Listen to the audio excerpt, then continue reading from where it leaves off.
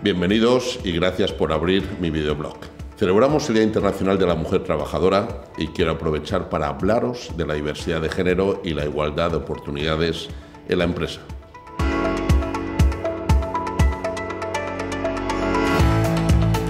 La igualdad no es solo un tema de moda, ni de cumplimiento legal, ni de justicia, ni de simplemente ética. Como empresarios es además una cuestión vital para nuestra competitividad. En Melía hace mucho tiempo que comprendimos la importancia de la diversidad. Melía es una empresa con una gran riqueza en su diversidad de género, culturas, nacionalidades y su mix generacional. Hoy, el 44% de nuestra plantilla a nivel global está formada por mujeres y ellas ocupan más del 25% del total de posiciones directivas entre hoteles y oficinas corporativas.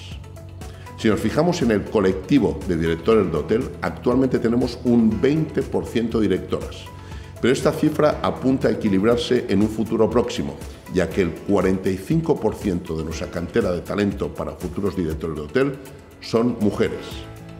Ya sabemos que el talento no tiene género, pero además puedo deciros con orgullo que algunos de nuestros mejores directores de hotel en España, Europa, América y Asia son mujeres.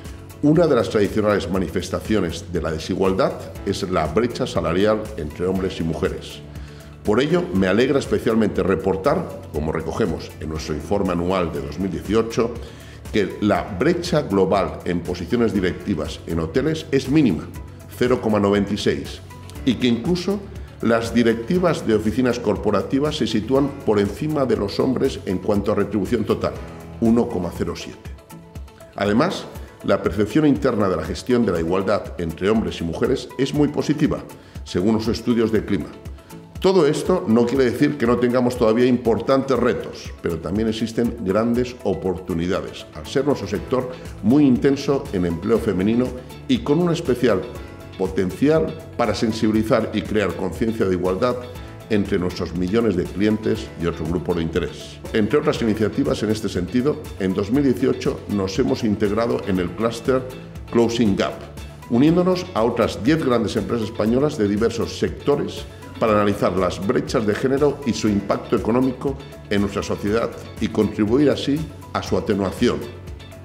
También hemos firmado muy recientemente un acuerdo pionero con la UITA, la Unión Sindical Internacional del Sector, para prevenir el acoso sexual, una de las lacras más detestables contra las que históricamente ha luchado la mujer trabajadora. Por eso, y porque todavía queda mucho por hacer en materia de igualdad, es tan necesario reservar un día al año para reconocer a la mujer trabajadora. Feliz día a todas.